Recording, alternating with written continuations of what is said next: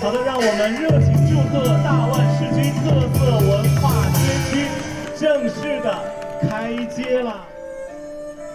On October 24th, the Dawan Ancestral Residence Cultural Block was opened to the public.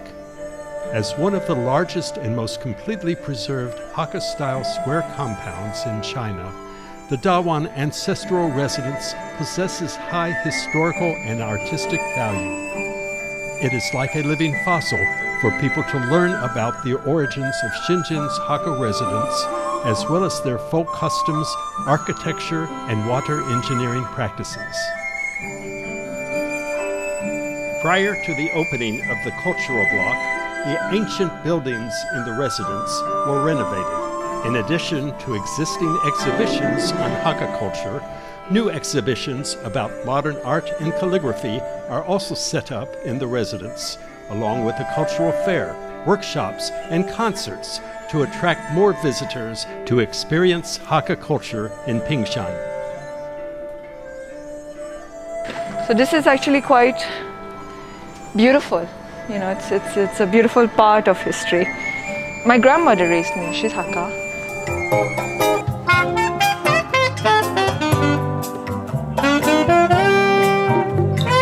Uh, coming back to Pingshan, well first we have this fun market. There was no market last time so it was a great experience. Uh, the opening ceremony at Dawan Residence of course was magnificent. Getting to see the cultural shows and the dances and the singing performances was really special. Um, I feel grateful that I got to be a part of that.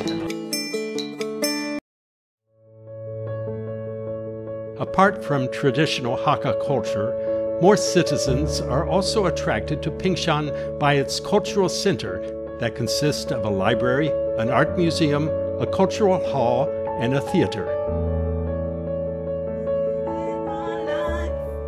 his words, killing me softly with his song, killing me softly with his song. I myself singing for 25 years, but I don't know facts about music. So just looking at it, learning where is it from, it adds up to my knowledge. After this trip, I got it all on my mind. It will be helpful for me, more appreciate probably my craft. Very inspiring. You'll be uh, intrigued. It will make you um, travel more and see more of it. This is upcoming. I can see.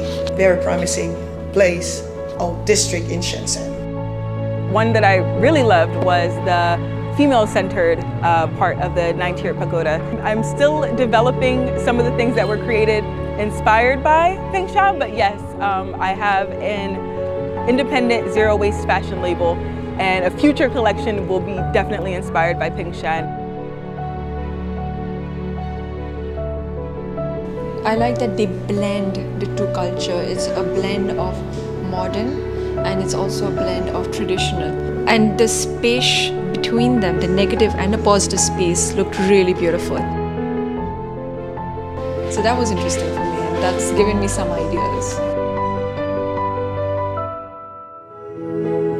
Fascinating today, really fascinating to put into one day an exhibition where Brunelleschi from Florence is mentioned and then take a self-driving car to the next destination is, is very, very, very interesting. And then to come to a 250 years old Hakka village. We have always liked living in Pingshan from the very beginning. It's a nice place to live.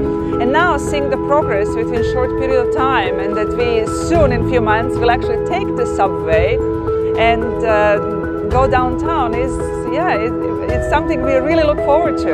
What I experienced today made me feel comfortable because the people are very friendly. I believe that Pingshan is using technology, improving the life of the people that they are living here. So Pingshan will be like a, an example of a future city. I'm going to start my new journey here in, in. I'm looking forward to, to see what Pingshan has to offer for me, but I'm looking for a very bright future and contribute to, to Pingshan.